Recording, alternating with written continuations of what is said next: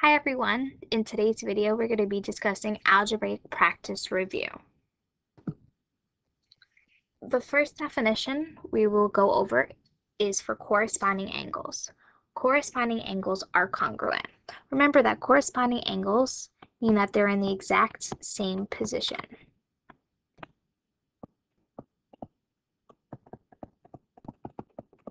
So looking at the diagram, this angle here is congruent to this angle here.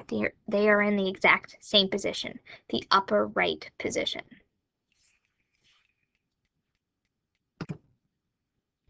Next, we have an angle bisector. An angle bisector creates two congruent parts.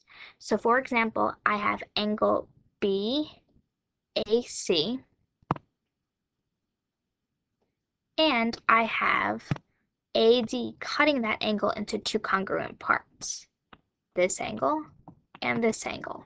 So angle BAD is congruent to CAD, or remember, I can label each angle as 1 and 2. Angle 1 is congruent to angle 2. Make sure to label the diagram with 1 and 2 as well. So remember, an angle bisector creates two congruent parts. Next, we have an isosceles triangle. An isosceles triangle has two congruent sides and two congruent base angles. So for example, I have the congruent sides.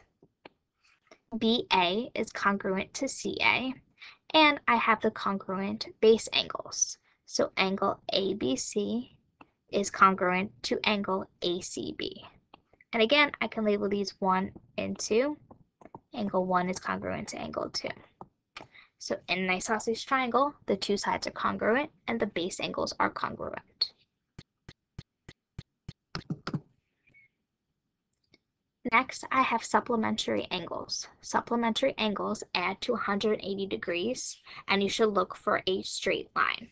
Remember, the S in supplementary can turn into an 8, which means 180 degrees. So for example, here at the bottom, line PQ is a straight line, and the angles on a straight line add up to 180. So if I add 48 plus 132, that equals 180 degrees. Angles on a straight line add up to 180 degrees, and those are called supplementary angles. So always be on the lookout for straight lines.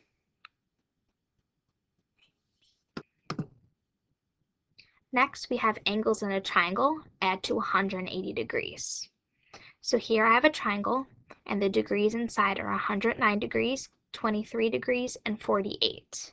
When I add up all those numbers, they equal 180 degrees. So interior angles, or angles inside a triangle, add up to 180. Always identify triangles, and remember that the angles inside add up to 180 degrees. Lastly, we have a diagram and we're asked how many triangles are there. So there are many triangles in this diagram. Let's try to identify them. So first, I have the large triangle.